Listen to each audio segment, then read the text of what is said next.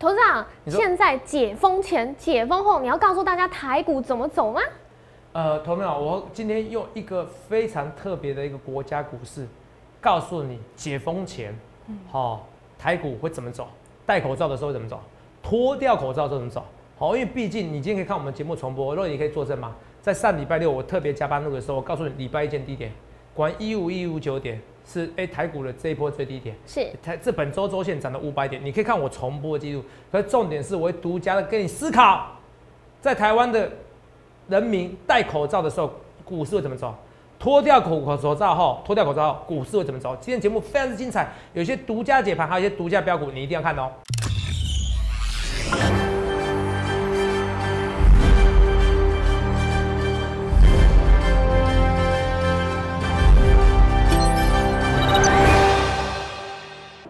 好，欢迎收看《荣耀华尔街》，我是主持人 Zoe。今天是五月二十一日，台股开盘一万六千一百三十六点，中场收在一万六千三百零二点，涨两百五十九点。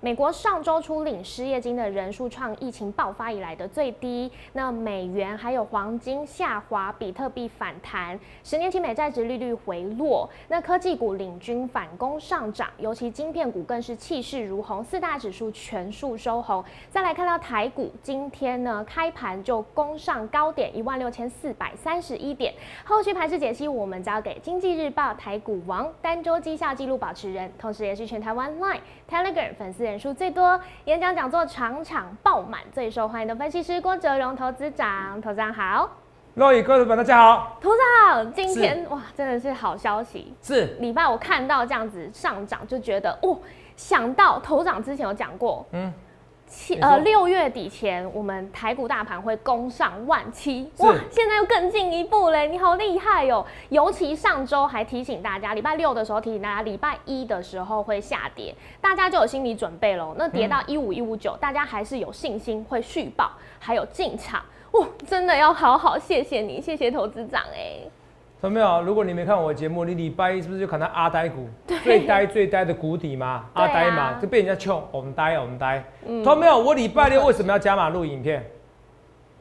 我给你信心啊！是其实如果是我会员朋友们，他不一定，他不一定要看我礼拜六节目啊，对礼拜一就照照照样去加码就好了啊。是，礼拜六你听到三级警戒昏了，哦十点四十五分，苏贞昌院长告诉你这三级警戒了，对一天增加一百八十例，你昏头了。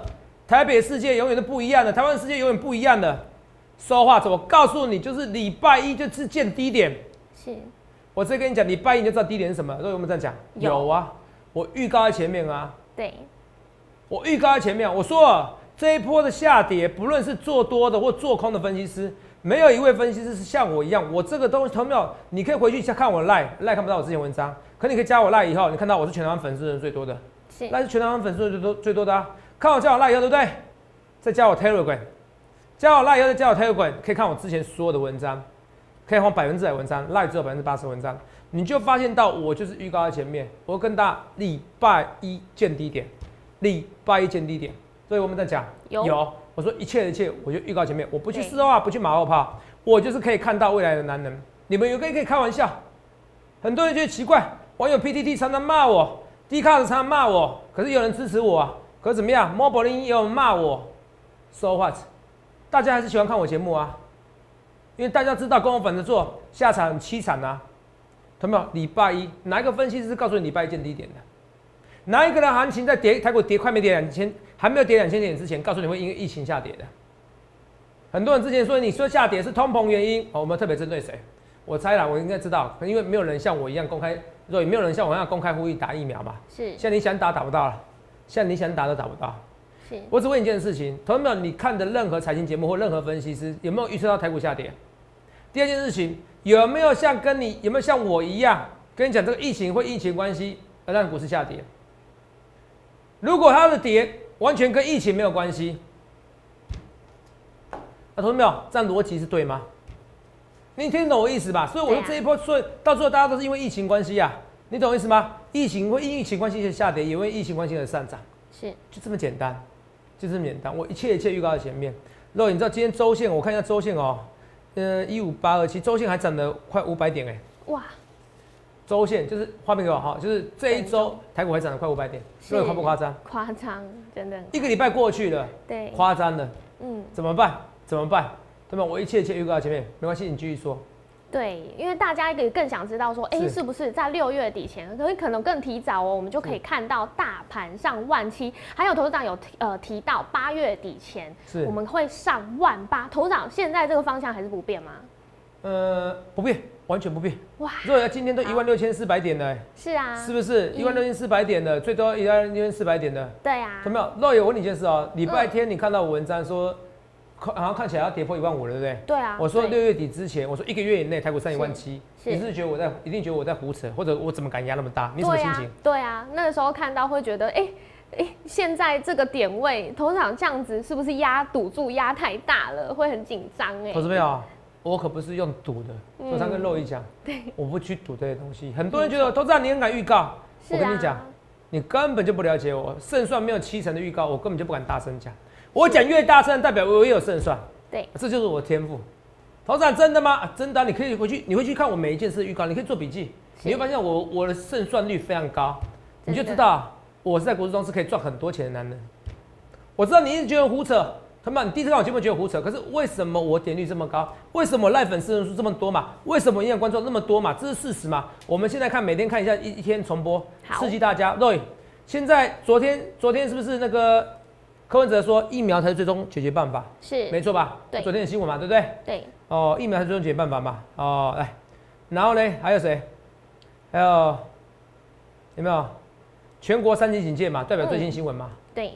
苏贞昌院长呼吁踊跃打疫苗，可是现在没疫苗可以打，怎么办？疫苗是最终解决办法嘛？来，你看清楚，看我的预告。对，这是四月二十二号。对。没错吧？郭子龙分析师对不对？十六万的点阅率对不对？是十六万的点阅率嘛，对不对？啊，很高吧？来，你不打，到时候连出国都不知道怎么出国哦。这是时候的事，没关系。你看下一句话，我说趁现在能打就打。这四月二十号，对，四月十号，台湾有没有任何本土病例？还没有，一个都没有。到五月的时候才有机师，是案例出现。我就是 see the future，来看一下，我赶快，因为很多人你连出国都不知道怎么出国，有没有？人生先享受嘛，像买手机一样嘛。所以建议大家打，尤其六十岁以上打会比较好。好不好？你们不要铁齿，不要到时候你想打的时候打不到。好，我是跟大家讲哦，我看到未来，我是跟大家讲哦，到时候会很 popular 哈，疫苗到时候你们抢不到，有没有抢不到？是不是？对。那你是抢不到了，疫苗到时候会抢不到了，疫苗到时候会抢不到了。呃，同样的衣服哦，可是不同天哦。啊，为什么？因为肉衣衣服穿的不一样。对。第二个，我我今天脸比较水肿。哦，昨天吃太多洋芋片了。哦，我们好像艺人一样，我昨天吃了四包，很多，很可怜。哦，那没办法，哦，现在每天就只能在家里哈，我没事做吃东西，看美 O D。哦，哦，看什么金刚啊，什么真男快打，看 M O D 看得很开心哦。是。跟大家边吃边吃，哦，边吃洋芋片。那差别说我很困难，我也不想要被被三级警戒，好不好？哦，这跟大家讲哈，好来。哦，扯远了。啊，这个啊，就变哦，所以我们分析师像艺人一样哦。我每天常常去跑步，我今晚上去跑步。哦，所以疫苗会抢不到了。啊，这绝对不是今天嘛，脸就脸的肿就不太一样。绝对会抢不到了，同没有？四月二十二号，我预告前面，我就看到未来。好，我知道，同学们，你不要再讲疫苗了。好，我刚刚刚刚跟你讲，可是就是要讲疫苗，可是不要讲重复的疫苗，不要讲重复的疫情，好不好？好。所以先讲清楚，来。在两在一个月前，全台湾没有任何一个分析师跟你讲台股会下跌，就算跟你讲会下跌，他可能他也没跟你讲到任何是因为疫情的关系。可是我是全台湾也是唯一一位打疫苗的分析师，唯一一位，因为我看到未来。因为等你想打到的时候打不到，有没有？我不是说我说很多医务人员啊，哦，我说很多医务人员说，哎呦，我不想打会有血栓。我说这个血栓比例，尤其男生啊，不到两千万分之一，你不可能血栓，基本上你就是不可能血栓。好，我可以说你百分之九十九点九九九的信心，你不肯血栓。我已经跟大家讲五百八十四万里面，五百八十四万人里面才三十二个人血栓，是。那其中六个才女生，嗯。那如果放到两千三百万人的一块，才二十四个男生血栓。可是怎么样？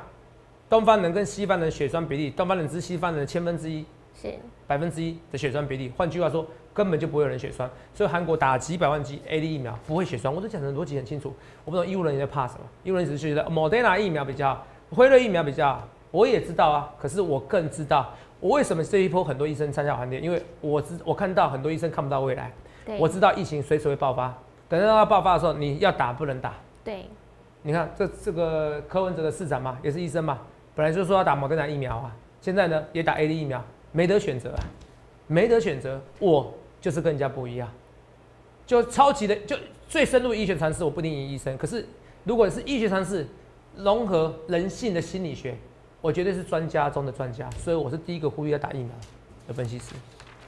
很多医生还没有像我这样公开呼吁成这样子，所以你想想看，你要不要找我？要啊，很多工程师也要找我啊，他们很懂制程，可不懂财报啊，不懂股票。投资啊啊，为什么大跌？疫情扩张了，这样子反而三级警戒见低点，我直接告告预告大家三级警戒见低点，对不对？对啊那我讲吧，有来，好来看一下三级警戒见低点。我先看一下，我先看一下疫情扩散会跌一两千点。我们刚刚看预告，因为因为有些人刚才疫情扩散，台股会跌一千多点，可是这不是我能决定的，不是我能决定的。我只能告诉你，如果疫情扩散的话，你反而越跌越买。又有讲哦，我觉得台湾疫情扩散不会到印度到会不扩散，可是它会先恐慌的下杀。对先跌个一千点，甚至可能跌到两千点，两千点，好不好？可是问题是那边你反而进一个买点。我先跟你讲所有的趋势，因为这不是我一个人决定到底台湾疫情有没有早就扩散了，你懂不懂意思？它可能早就扩散，你懂意思吗？对，肉早就扩散，你知道吗？是早就扩散，肉眼，我说早就扩散。五月三号的时候，台股在哪边？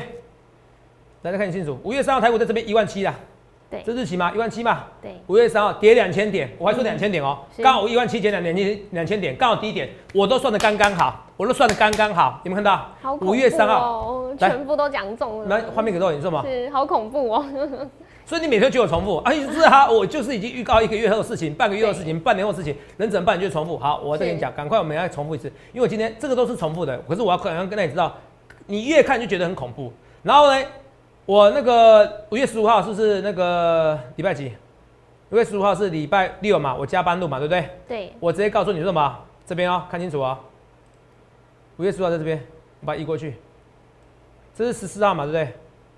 十四号礼拜六嘛，对不对？这一天嘛，对不对？对，我说那天是看起来要破底的，嗯，因为礼拜六三级警戒嘛。我说反而礼拜一就到见低点哦，来看清楚哦。来啊，来五四三二一，来看一下。点的，原则上就最低点的，原则一百例嘛，没错，是周一的嘛，是假日加班日的哦。来，对，好不好？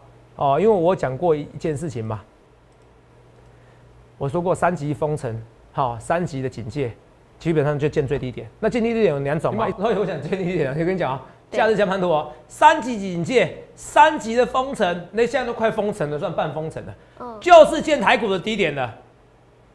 对，所以你看清楚啊、我那时候用二零零三年的四月好像二十八、二十三号，是，呃，和平一月风月那天也告诉你，所以它见低点了。没错所以事件已经不止示范一次了，它示范两次给你看，是两次什么意思？来，第一个有逻辑思考，在二零零三年 SARS 台湾本身封院的，台湾人生最恐慌的时候，最恐慌的时候反而见低点了。这一次人心最恐慌的时候，就礼拜一反而见最低点。这逻辑很简单，我只用逻辑看到未来而已，我看到你看不到未来。第二个，事件已经示范给你吃了，当疫情开始的时候，一开始会紧张，会杀下去，可是最后呢会创新高，嗯，会创新高。对，有没有看到来自未来的男人，是有没有用逻辑？用逻辑，来，那你看清楚。来，第二个，我现在要跟你讲的是第二个是什么？这样就算了，好，这样就算了。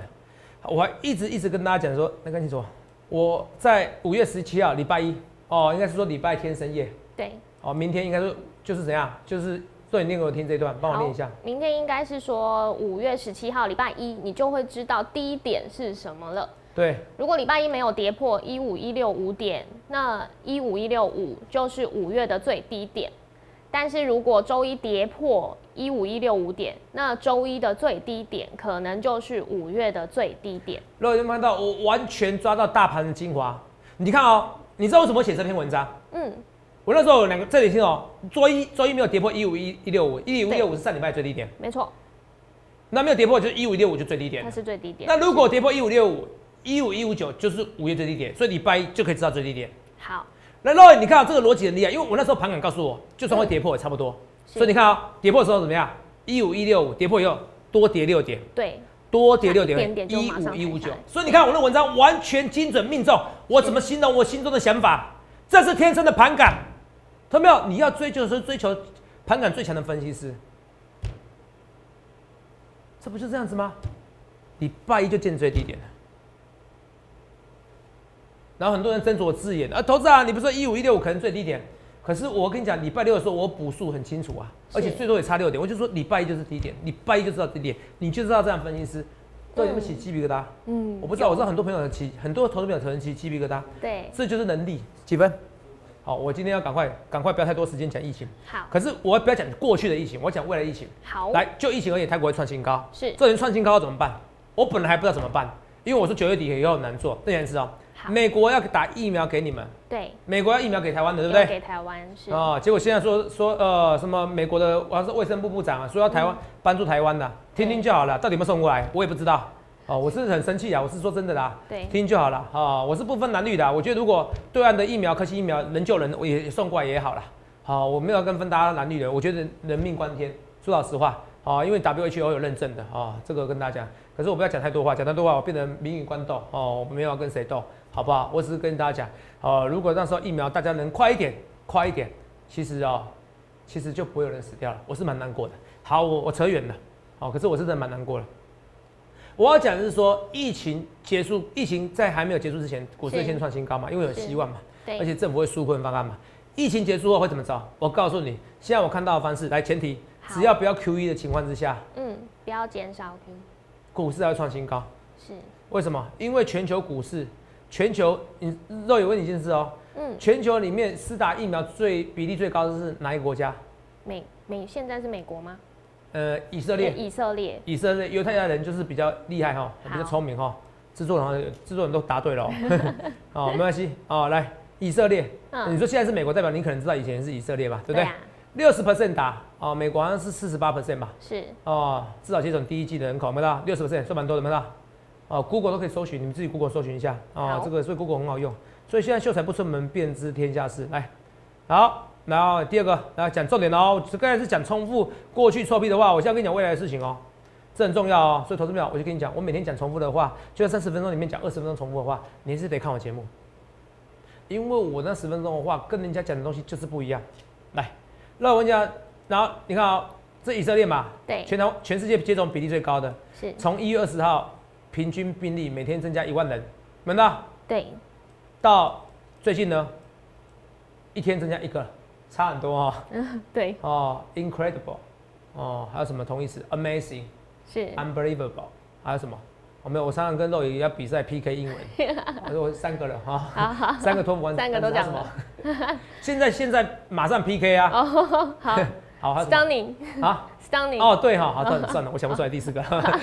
好吧，那英文应该是比我好一点。好好好，OK，好，好了，我们扯远了好。有时候私底下跟他 PK 一下英文，好无聊的托福单词，我们两个 P 赛好。所以你看这个数字很惊人，对不对？对 Amazing，好，不要讲，不要再唠英文了。从一万到变一个，是，变一个病例。好，那这就算了。所以，所以以色列的以色列的股市是可以参考为台湾的股市，没错吧？对，好，那以色列有像中型一百，像台湾五十这种的股市，来看一下。这种，ETF 来看一下啊、昨天的 ETF 来看一下，解放后怎么样？创新高，创新高，所以这是很重要的新闻，这是很重要的消息。台湾记者有没有跟你讲？没有，没关系，本来就很正常。像台湾那个那个台积电那时候一千亿资本支出，也是我独家新闻啊。是，呵礼拜一见低点之后，我敢讲啊，记者不敢讲这种东西，因为他们不是分析师啊。我就是看到你看不到未来，我现在直接跟你讲最重要的资讯嘛。结论就是解封后还创新高，but 哦，人生还是有个 but，好好好，好，我是在没有减少 QE 的前提之下，那什么时候减少 QE？嗯，现在美国金融比例四十八 percent 嘛，对，啊，所以基本金已经在重启了，可是还不敢全部重启，要到六成，到四十八 percent 可能可能疫情还是反复反复震荡哦。嗯，要到六成哦，六成怎么样？六成的时候，那为什么现在会输出疫苗给我们？代表是说现在打的没那么多嘛，对那，供给很多嘛，是，哦，所以当美国愿意疫苗输出给我们，或者是给墨西哥的时候，他们都给是中南美洲，什么？怕中南美那些疫那些难民逃过去，所以对讲来讲去，美国人都为自己啦，好不好？哦，美国人都为自己啦，懂没有？我要跟你讲实在话啊、你也不要妄想什么啊，两岸那是怎么样纷争的话，美国人会来救你啊。算了，我不要讲太多政治了。可是你要疫苗都不愿意给我们，你说呢？我讲实在话，哦，实在是。嗯啊，我投资人说很多投资啊，你要从政，我不该不要从政哦，我没办法哦，我没有那么多实力哦哦，有时候讲太多真话反而被人家讨厌哈哦，反正我跟大家讲，一秒都不给你，你觉得呢？哦，你觉得呢？我很务实跟你讲啊，哦哦，人讲太多哦，说多喜欢你哦，多爱你，那个行为才重要啦。好，投资人也是一样的哦，不论是分析师或我啦，我跟你说我不出货给你啦，是我是真的不出货给你，我觉得我有这个能力，你看到了，可是你要每天验证我们讲的每一句话，是你要每天验证我讲的这一句话。像今天有网友说，董事长，啊你那个股票啊，哎什么台钢生，哎你讲了又就不讲，同没有？我都讲经济日报，我们讲过至少十二十次以上，经济日报股票是我说的股票吗？不是？没有，我也说你追你自己要风险。对，同没有？你自己没有看我的节目的，同没有？我讲的非常之清楚。而且你看啊，今日报礼拜一五根的涨停板，可是算到二三四五呢，跌，对，跌啊！我算累计绩效时间这礼拜是正的啊，可要跌啊。所以投票我也不知道，所以你最好方式你是你赶快加入行列嘛，是你第一时间进场嘛，是不是这样子？没错，而且今日报如果股票就是我全部会员股票，那谁要参加我会员？对啊，所以我讲得清楚纸就好了。所以我都讲得很清楚。是，哦、所以一个人爱不爱你，喜不喜欢你，其实不是要要用行为。好，我讲真的。所以美国人呢、第一个哈、我觉得到目前为止，我希望赶快疫苗给我们。好，我不是，我也当然希望他们多爱我们一点，好不好？第二个一件事情，我要跟你讲是美国有给有给我们疫苗，代表他准备怎么样？准备已经在解封了，代表解封过到以色列的时候，到六十 percent、七十 percent 的时候，对，好，那经济就完全不一样的，嗯，完全不一样的时候，那个景气会很好，好，好到什么？好到股市会先创新高，可是讨论 Q E 的时候就会下来了。所以我要跟你讲，九月我认为是九月，我讲清楚九月，我一讲清楚为什么九月？因为失业救济金是领到九月，在九月之前，失业人数不会大幅度的上升啊，叔叔？失业率不会大幅度下滑。九月以后就不一样了哦，因为九月我没有失业金了，没有失业救济金了，那美国有些比较懒的人哈，就不得不出国出来工作了。对，出来工作失业率就下滑了。清楚哦，九月因为失业救济金到九月才停止，我已经跟你讲时间点了。九月之前没有讨论，他现在是准备讨论，可是还不会讨论。好可，是等到九月的时候会讨论很热烈，因为失业率会大幅度下滑，那个时候股市就难做了。以色列已经给你一个风范了，只要疫苗施打率过后，台湾如果疫苗再大幅度施打过后，对股市是利多的。给你结论。可是这个前提是在不能减少 QE，不能再考虑升息，考升息还是明年的事情，明后年有人说后年，我觉得明年可能就可能了。好，是不只是不要讨论升息，是说不要减少 QE，因为你要减少，先不要印钞票才对讨论升息嘛。记得先不要先不要印钞票才讨论升息，这个前提，以色列股市创新高，疫情过后，以色列股市创新高，可是前提是台湾疫情过后，是，台湾打疫苗过后，股市会创新算创新高，可前提是不能减少 QE，那这个在九月之前。那你说减少 QE 台股就不会创新高？不一定，只是最好做的会是九月之前。所以那时候我演讲就本来讲四月的，后来想想我就跟你讲，只要说五月，我其实那时候怕疫情，对可是没关系，五月还是用力嘛。你看你现在看来看去是五月可以看用力做多，是，没有错啊。上礼拜之前你们觉得我郭总在跟你讲说六六月台股上一万七，六月台股上一万七，很多人就胡扯。我跟你讲，很多网友、很多酸民都只能酸我而已。Roy，我那时候去年讲三四月说，哎、台股要上一万二，被人家酸了，被人家酸了，我还签名是负是以示负责任。然后呢，我还谢谢他们帮我打广告，因为因为你看那种行情，到最后台股上一万三、一万四、一万五，那我是不是对的吗？我不是对的吗？头仔死多头，很多都死掉。我从来没我，你看我这一波我有叫你用融资吗？怎么会死掉？我没有用融资，怎么会死掉？头没有怎么会死掉？你是赔啦。有些人会员真的是在最高点插入还你的时候，真的是有赔到啦，是，是真的有赔到。可懂没有？你在最低点的时候，谁给你信心？我。所以逻辑思考很重要。我很多股票赚一百一百 percent，你们怎么没讲？但我要跟你讲一件事，等到那台股上一万八的时候，你只会后悔说，头长，我真的还有钱，只是我没加码。你现在就有这种感觉，很多你们还有钱啊，种种呢，其实还有钱，你现在是很后悔，因为最近很多网友、很多会员打电话给我，头长我还有钱，每次都这样子，涨了一千多点，跟我讲很有钱，一万五、一万六，告诉你就是要用力买，用力买。所以跟你讲哦，以色列股市创新高，嗯疫情后的以色列股市，脱掉口罩后的以色列股市创新高，所以台股在疫情的时候就会创新高。对，在戴口罩的时候会创新高，脱掉口罩以后也会创新高，记得哦。戴口罩的时候会创新高，脱掉口罩脱掉口罩后也会创新高。可是本身这个前提在九月之前，好，九月之前减少 QE 之前，记得哦，我讲得很清楚哦。我我这个是我本来是不压箱宝，我这个是本来那个本来七月份要办演讲的时候要讲的东西啊。对啊，先哦，讲二十你现在讲，要看起来七月份不能办演讲的啦。是，哦，我又不可以演讲四五千人，我看我到时候我上电视哦，投那个投顾分析师哦不管政府尽力，哈，四五千人演讲哦，啊这没办法哦，所以预告前面哈，所以讲到，啊你看哦，然后第二个我们再看预告哦好，，Roy 二六零三哦，现在几分了？好，二六零三长龙，Roy 礼拜一是不是跌停板？对，跌停板以后几乎天天涨停板嘛？对啊，好厉害哦，来三根涨停板嘛，礼拜一跌停板六十三块，是不是随便你买？对，是不是跟之前的疫苗一样，随便你打？嗯，对，四月底你只要自费疫苗，随便你打。你只要说你有出国需求，根本就没有管没人管你。我就是我投票，你不要刺激我，我就是要刺激你，不然下次再一次买点你都不理我。礼拜一长隆是不是跟以前的疫苗一样，随便你打，随便你买，嗯你不理我。今天涨停板，来看一下我们重播看我们预告，因为我说过礼拜一见低点嘛，我也说过回档怎么样，三十到四十 percent 我才买。对，画面给我哈，来，五月十七啊，看重播，五四三二一，来，这扯远了，好来，跟你讲一些股票，投没有？投资长，投资长啊，你不是说那个长隆回档三十 percent 你要买？哦，没有错了哦，我买了哦，哦，这已经回档四十 percent，来，回档四十 percent 我买了哦，回档四十 percent 我买了，是不是跌停板？你自己看跌停板多少钱？这边看很清楚，六十三块。嗯，这价格六十三块嘛，跌停板六十三块嘛，我买了哦，我买了哦，我在今天买了哦，我有进场哦，好，我有进场哦，我就跟你讲，我有进场，我就说没有回档三成，我不买啊，我进场了，好不好？就有进场了，好不好？哎，若雨，若雨，你看没看到一个分析师？我就是敢预告在前面，对，我演讲跟他讲，我说长隆我很想买，没关系，等回档三十 percent 之后再买。我那时候说二十五 percent，我那时候好像说十五到二十 percent，对后来因为它涨太多，我说我不理它了，我说至少我说涨那么多，至少要回档三十 percent。对，我们在讲，有你看，所以你每天还在看我节目，所以很多人不了解我，觉得头上你好像每天在重复一样话，不是？其实我每天有在改，对啊，我的 range 有在改是，，range 在改，我也跟你讲一件事，range 在改，所以我投资面我也讲一清楚一件事，我都有在改一些东西。好，我一切一切预告在前面一样。那如果礼拜一行情怎么看？我直接跟你讲，跌的几率越高，大概六成，除非这几天又有疫苗的新新闻，好，疫苗几万剂啊，都有跟大家讲。为什么？来看一下，呃，我之前不是有说过这个公式吗？今天增加三百一十二例，有没有比有没有比昨天多？有昨，天正二八六，今天剩三百一十二，结果今天涨两百五十九点。对，我觉得是那种自我实现的感觉。大家觉得今天涨了以后，就觉得哎、其实疫情该减温了，哦疫情该减温，所以越多人越多人买。对啊，大家要把疫情减温了，就疫情有没有减温？没有，看起来没有。他们我已经跟你讲，这个疫情以后，就是你人生以后就这两个选择，要么得新冠肺炎，要么怎么样？